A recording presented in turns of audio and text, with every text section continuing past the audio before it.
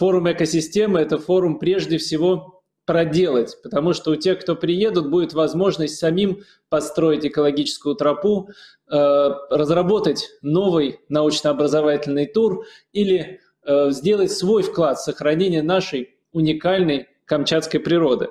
И хочу отдельно сказать, что те предложения, которые мы в этом году разработаем на Камчатке, мы рассчитываем представить на Восточном экономическом форуме, который пройдет в начале сентября уже в Владивостоке, традиционно с участием президента Российской Федерации.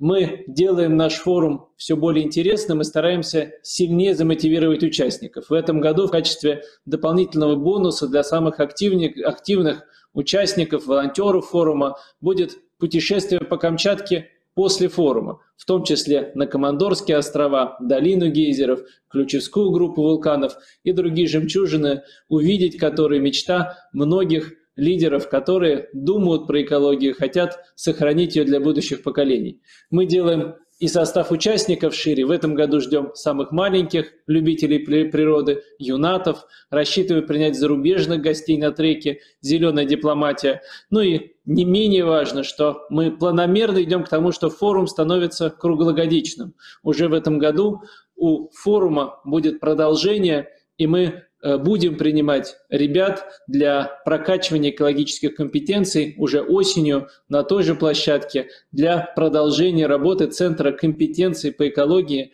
здесь у нас в Камчатском крае.